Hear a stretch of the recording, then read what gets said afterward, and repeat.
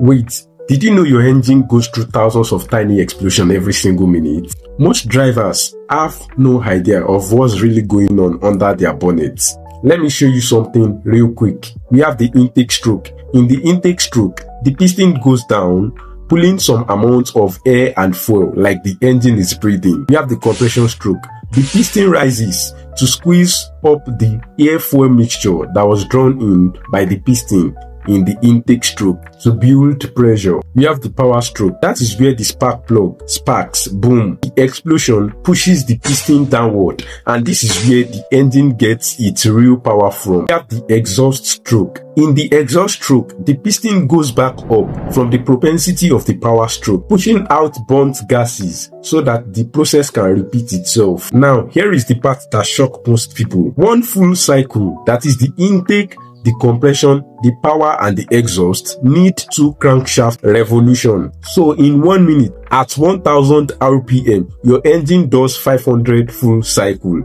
At 3000 RPM, your engine does 1500 full cycle. At 6000 RPM, your engine does 3000 full cycle. So next time you rev your engine, you are controlling a tiny powerhouse exploding over and over again in perfect rhythm. If you want more powerful simple breakdown like this, hit like, subscribe and share this with someone who loves car. Engineering shouldn't be complicated. Let us make it simple together. Peace out.